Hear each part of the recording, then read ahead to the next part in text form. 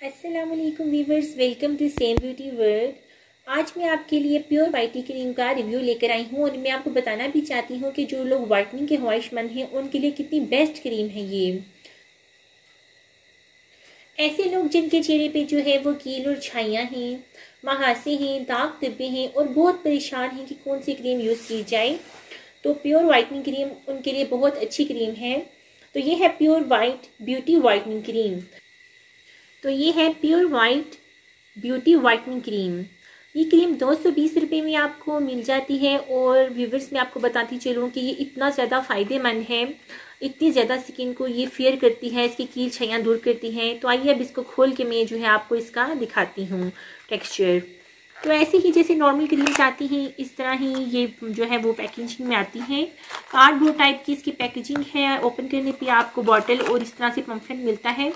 Whitening में ये बहुत ही बेस्ट क्रीम है। वीडियो स्पॉन्सर नहीं है ओपिनियन इज़ टोटली माइंड और ये देखें पम्फलेट इसके साथ इसका मिलेगा।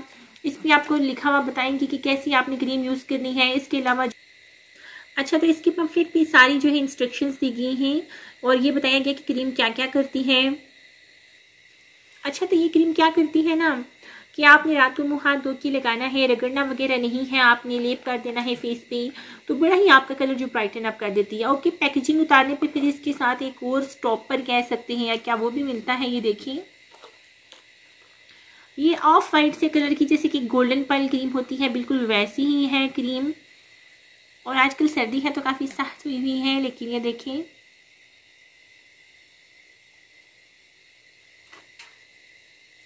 मैं लगा के आपको दिखाती हूँ। अच्छा तो ये क्रीम जो मैं आपको बताती चलूँ कि ड्राई स्किन वाले जो है, वो इसको यूज़ कर सकते हैं नॉर्मल कर सकते हैं। एक्नी प्रोन को मैं रिकमेंड नहीं करूँगी क्योंकि बहुत सी एक्नी प्रोन लोगों ने लगाया है तो दाने निकले हैं। ऑयली स्किन वाले भी इसको नहीं लगाएँगे, वरना स्किन बड़ी ग्रीसी और ऑयली टाइप हो जाएगी ना। तो ऐसे करेंगे, जो ड्राई नॉर्मल कम्बिनेशन वाले जो हैं ना लोग, वो इसको लगाएँगे और उनको काफ़ी वाइटनिंग प्रोवाइड करती है ये। लेकिन क्योंकि सर्दियाँ हैं तो ऑयली स्किन वाले भी इसमें वाइटनिंग कैप्सूल वगैरह ऐड करके इसको लगा सकते हैं, ये देखिए मैंने इसका जो है वो लेप कर दिया है, आपने रगड़ना वगैरह नहीं है, ऐसे ही इसका लेप करना है, ये देखिए। टेक्सचर इसका क्या है? थोड़ा सा ग्रीसी है ये जिस हाथ पे मैंने क्रीम लगाई है, आप इसमें और दूसरे में फ़र्क देख सकते हैं। तो ये क्रीम में जो है वो काफ़ी हार्श केमिकल्स होते हैं, बाकी क्रीम्स में, हर क्रीम्स में होते हैं, क्योंकि वो आपको वाइटनिंग देती हैं तो अच्छा तो इसलिए आप कोशिश किया करें कि आप जो क्रीम अप्लाई करते हैं तो मॉर्निंग टाइम में जो है सन ब्लॉक मस्ट यूज़ करें। ये क्रीम जो मैं आपको बताना चाहूँगी कि वाइट वाकई ही वाइटनिंग प्रोवाइड करती है। पर इसके साथ साथ इन क्रीम्स में हार्श केमिकल्स भी होते हैं। गज़ा में कुछ तब्दीलियाँ ला के अपनी रंगत को आप सफ़ेद कर सकते हैं। तो ये थी आज की वीडियो जिसमें मैंने आपको एक बहुत अच्छी वाइटनिंग क्रीम के बारे में बताया है। इसके साइड इफ़ेक्ट्स भी बताए हैं कि इसमें हार्श केमिकल होते हैं स्किन को सेंसिटिव भी कर सकते हैं। सन ब्लॉक का इस्तेमाल मस्ट है।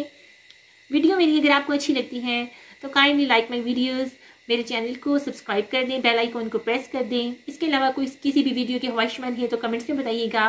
नेक्स्ट वीडियो तक के लिए अल्लाह हाफिज़।